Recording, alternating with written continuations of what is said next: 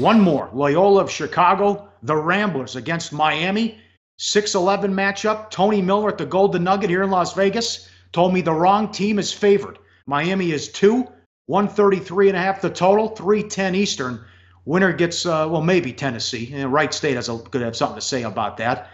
Uh, surprised that, well, you saw this last year. Middle Tennessee was a 12. They were favored over Minnesota, the five, and here Miami is the is the six, and they're only laying two. The numbers are strong, and you have my attention. I don't care what league you play in. When you win 28 games, and Loyola went to Florida earlier this year and won, they don't foul. They play terrific defense, and they shoot the three well, Teddy. Sure. I mean, when you look at the statistical profile, it's an impressive statistical profile, no question. The offensive effective field goal percentage, number eight in the country. Three point shooting percentage, number 13 in the country. Two point shooting percentage, number 14 in the country. And total defense, number 24 in the country. You say, wow, those are really good stats. They won at Florida? Holy shit. This team's really good. Well, they lost at Boise 87 to 53.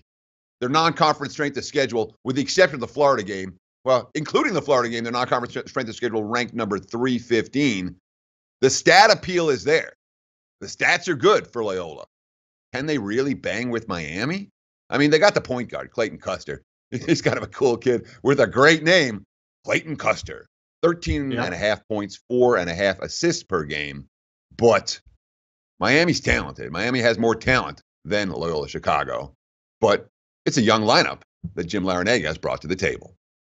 And then Miss Brown, who's been out for 12 games, they don't have a go-to guy. Uh, no player averages more than 12 points per game. That's something that could be concerned about. Their starters, Newton's a senior, Lawrence a junior. Then you have a sophomore and two freshmen as well.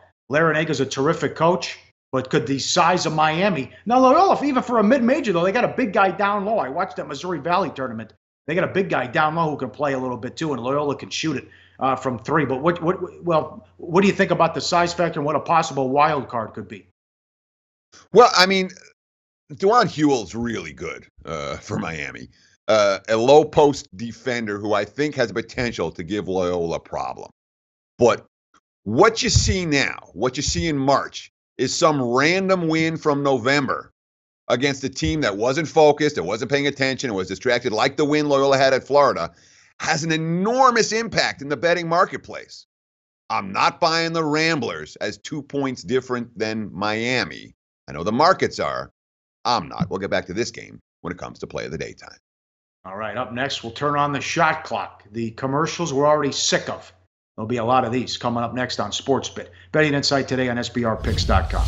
Like the show? Help us keep the lights on. Please make sure to comment share, and subscribe to all the Sportsbook Review videos. Thanks so much. Best of luck. Enjoy the game.